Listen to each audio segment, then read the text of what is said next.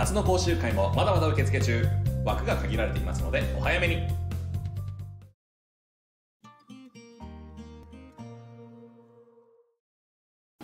Hello, my name is Mr. Dear, and this is an InterTomas Dictation Challenge. Today we will be listening to the trees. Trees. We look at them, but do we really see them?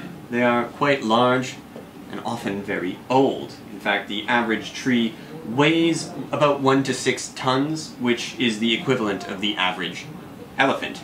And like elephants, they have trunks, and they can walk. That's right, the trees in Ecuador walk. The soil is very bad, so the roots spread to firm ground, and then the trunk shifts towards them. The other roots don't hold it back because they get raised into the air for the step. Now, this process takes years, but they do walk. Not only do they walk, but they also talk to each other through the fungi, through the mushroom layer. If there is a sick tree, the other trees will find out and begin to prepare their defenses against the disease. And also mother trees feed, they give nutrients to their daughters when they're in trouble. Again, through the fungi. So the trees, they, they walk, they talk, they also like music.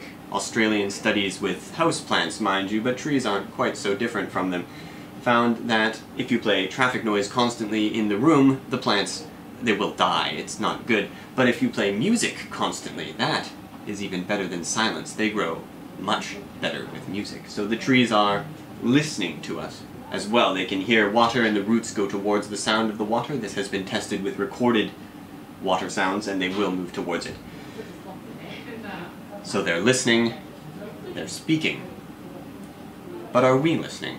The ancient Greeks used to go to the oak of Dodona and listen to the wind in the leaves to hear the voice of the gods. I wonder if we learned how to understand them, what the trees would say.